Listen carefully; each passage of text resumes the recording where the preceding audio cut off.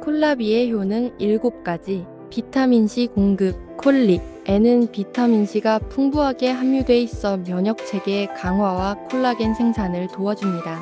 식이섬유 풍부. 콜라비는 소화를 촉진하고 정상적인 변사를 돕는 데 필요한 식이섬유가 풍부합니다. 비타민 K 제공. 비타민 K는 혈액 응고에 중요하며 콜라비는 이 비타민을 제공하여 혈액 응고 기능을 지원합니다. 항산화 성분 함유. 콜라비에는 항산화 물질이 풍부하여 세포 손상을 예방하고 건강한 세포를 유지하는 데 도움이 됩니다. 칼륨 공급. 콜라비는 칼륨이 풍부하게 함유돼 있어 혈압을 조절하고 심혈관 건강을 유지하는 데 도움을 줄 수 있습니다.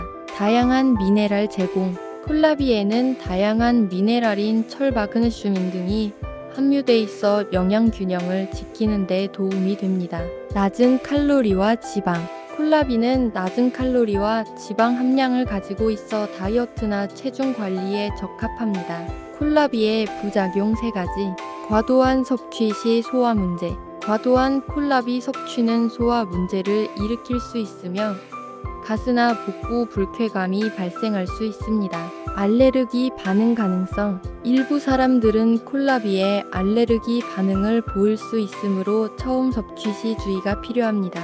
급격한 체중 감소 원인.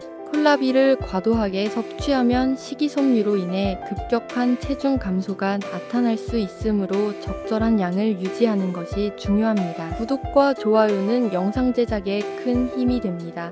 감사합니다.